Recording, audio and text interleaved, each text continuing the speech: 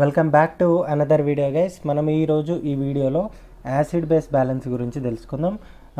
ఈ acid base balance అనేది మన బాడీలో చాలా ఇంపార్టెంట్. ఎందుకంటే మన బాడీ అనేది ఒక సర్టెన్ పిహెచ్లోనే మెయింటైన్ అయితే అన్ని ఫంక్షన్స్ అనేటివి ప్రాపర్గా జరుగుతాయి. బట్ మన బాడీలో డిఫరెంట్ యాసిడ్స్ అనేటివి రిలీజ్ అవుతాయి. లైక్ కార్బోహైడ్రేట్స్ మెటబాలిజం టైంలో కానీ ప్రోటీన్స్ కానీ లిపిడ్స్ కానీ ఇవన్నీ బ్రేక్ డౌన్ అయిన టైంలో మనకు ఈ యాసిడ్స్ అనేటివి రిలీజ్ అవుతాయి.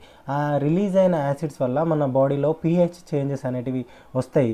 వాటిని మెయింటైన్ చేయడానికి మన బాడీ ఏం చేస్తుంది? అనే దాని గురించి మనం ఈ వీడియోలో ఇప్పుడు చూద్దాం.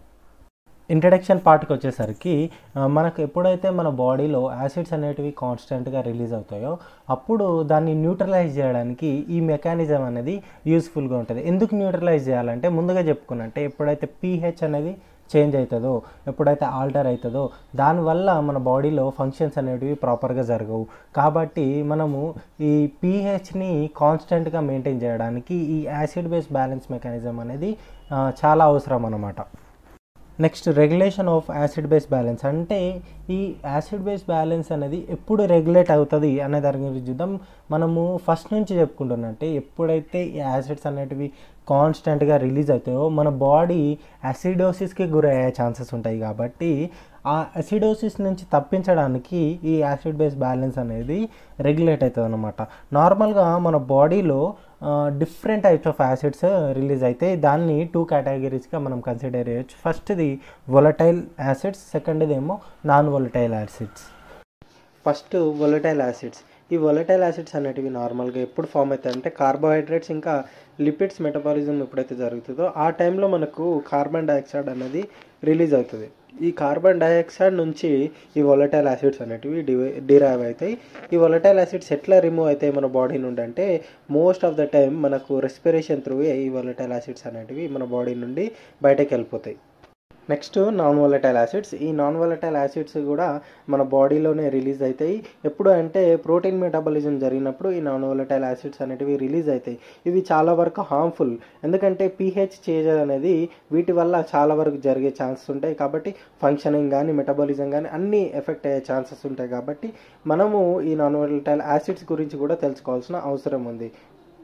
ఈ వొలటైల్ యాసిడ్స్ కానీ ఈ నాన్ వొలటైల్ యాసిడ్స్ కానీ ఎప్పుడైతే రిలీజ్ అవుతాయో బాడీలో అప్పుడు పీహెచ్ చేంజ్ అనేది ఆటోమేటిక్గా జరుగుతుంది.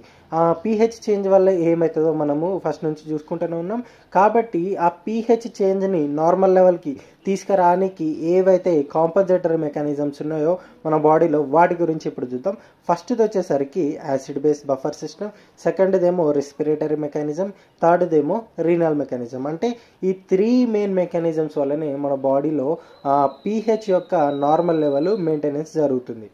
ఫస్ట్ది యాసిడ్ బేస్ బఫర్ సిస్టమ్ ఈ యాసిడ్ బేస్ బఫర్ సిస్టమ్ అనేది ఎట్లా ఫామ్ అవుతుందంటే వీక్ యాసిడ్ ఇంకా బేస్ ఈ రెండు కాంబినేషన్ తోటి ఫామ్ అవుతుంది. యాసిడ్ ఇంకా బేస్ ఎందుకు కాంబినేషన్ కావాలంటే మన బాడీలో యాసిడిక్ నేచర్ అనేది పెరగచ్చు తర్వాత బేసిక్ నేచర్ అనేది కూడా పెరగచ్చు కాబట్టి రెండిటికి కావాల్సిన బఫర్ని మనము ఈ యాసిడ్ బేస్ బఫర్ సిస్టంలో మనము చూస్తాం. ఫర్ ఎగ్జాంపుల్ మన బాడీలో ఎప్పుడైతే యాసిడిక్ నేచర్ పెరుగుతుందో అప్పుడు బేస్ యాసిడిక్ నేచర్తో అంటే దాంతో రియాక్ట్ అయిపోయి మన పీహెచ్ని నార్మల్ రేంజ్కి తీసుకొస్తుంది. ఎప్పుడైతే బేసిక్ నేచర్ పెరుగుతుందో ఈ వీక్ యాసిడ్ ఏదైతే ఉందో దాంతో కంబైన్ అయిపోయి దాని ఒక నార్మల్ లెవెల్కి తీసుకురావడానికి ఈ బఫర్ సిస్టమ్ అనేది హెల్ప్ చేస్తుంది. మనకు ఈ బఫర్ సిస్టంలో మెయిన్గా త్రీ టైప్స్ ఉంటాయి. ఫస్ట్దేమో బైకార్బనేట్ బఫర్ సిస్టమ్ ఈ బైకార్బనేట్ బఫర్ సిస్టమ్ అనేది మనకు ఎక్స్ట్రా సెల్యులర్ ఫ్లూయిడ్లో మనం చూస్తాము. ముందుగా చెప్పుకున్నట్టే బఫర్ సిస్టంలో ఒక వీక్ యాసిడ్ ఇంకొక బేస్ ఉండాలి. ఇందులోకి వచ్చేసరికి మనకు వీక్ యాసిడ్ వచ్చేసరికి బై కార్బోనిక్ యాసిడ్ తర్వాత బేస్కి వచ్చేసరికి సోడియం బైకార్బనేట్ దాని నుంచి వచ్చే అయాన్ ఏంటంటే బైకార్బనేట్ అంతే. ఇప్పుడు మెకానిజం చూద్దాం. ఎప్పుడైతే పిహెచ్ తగ్గుతుందో అంటే యాసిడిక్ నేచర్ పెరుగుతుందో అప్పుడు ఏదైతే హైడ్రోజన్ అయాన్ అంటే ప్రోటాన్ ఏదైతే రిలీజ్ అవుతుందో దాంతో మనము యాసిడ్ రిలీజ్ అయింది కాబట్టి దాన్ని న్యూట్రలైజ్ చేయాలంటే బేస్ అంటే బైకార్బోనేట్ అనేది కంబైన్ అయిపోయి మనకు ఏం ఫామ్ అవుతుంది అంటే కార్బోనిక్ యాసిడ్ ఫామ్ అవుతుంది. ఈ కార్బోనిక్ యాసిడ్ ఫర్దర్గా కార్బన్ డైఆక్సైడ్ ఇంకా వాటర్గా కన్వర్ట్ అయిపోతుంది. ఆ కన్వర్షన్లోనే మన పీహెచ్ అనేది నార్మల్ స్టేజ్కి వచ్చేస్తుంది అనమాట నెక్స్ట్ పీహెచ్ ఇన్ కేస్ పెరిగింది అనుకోండి అంటే బేసిక్ నేచర్ పెరిగింది అని అనుకోండి దానికి కారణమైన కాంపౌండ్ తోటి వీక్ యాసిడ్ ఏదైతే ఉందో అది ఏంది?